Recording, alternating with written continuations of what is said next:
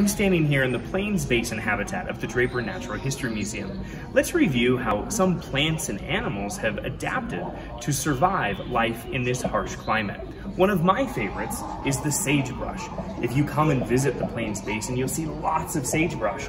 And almost everything about this plant is an adaptation to helping it survive.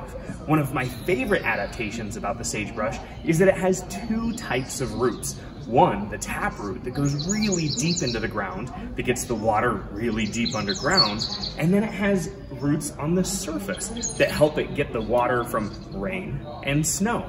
Can you think of two more examples of adaptations that help plants or animals survive in this habitat?